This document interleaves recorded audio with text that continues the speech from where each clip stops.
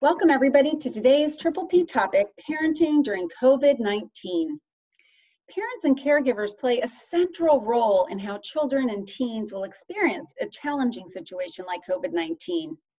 This means the more you can do as a parent or caregiver to focus on the positive, take care of yourself and your needs, and put your family first, the more likely you are to build your child's resilience and that your whole family will thrive during this time. With this in mind, we'd like to share one of 10 positive parenting strategies developed by Dr. Matt Sanders, who's the founder of Triple P International, and psychologist Dr. Vanessa Cobham, who is an expert in helping families manage well during and after disasters.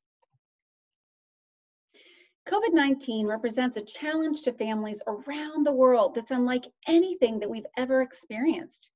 Most people, when confronted with a highly stressful situation like this, have a basic concern for the welfare and safety of their children. To care for children effectively, first, parents must really look after themselves. As parents, we can be feeling a range of uncomfortable emotions like anxiety, anger, or sadness, as well as uncertainty about what to do and how to cope. These feelings are normal and they're expected at a time like this it's important for us to remember and to remind our children that our communities are working to keep people safe. My name is Emily Herriott, and today I want to talk about an important strategy, and that is reassuring your child that your family is your top priority. In all conversations with your child, stay as calm and comforting as possible let your child know that they should tell you if they're feeling sick in any way. And demonstrate through both your actions and your words that is part of your that is part of your job as their parent to do everything they can to keep you safe and that that's exactly what you're doing. You might literally say to them i'm your parent. It's my job to keep you safe. And we are doing everything we can Statements like this help kids feel safer, and for older children, it will help them understand why you must observe restrictions that are being placed on all families. Things like not being able to go to parks or not being able to spend time with people outside of your family. Think about what you can do to remain calm as you talk to your child about COVID-19. What can you do to reduce your anxiety if you're feeling any? It's also helpful to think about when and where you will talk to your children about what's happening.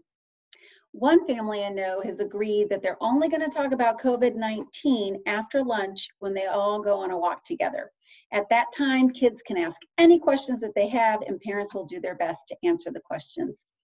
Taking an idea like this and using it in your family could be particularly helpful if you have kids who are wanting to talk about COVID 19 all the time or are experiencing a lot of anxiety. If you would like additional parenting support after watching this brief video, please like us on Facebook to get regular parenting tips, or you could join us on Thursdays. We have a Zoom parent support group. To do that, you just email us at info at trippleplcounty.org and we'll send you our Zoom link.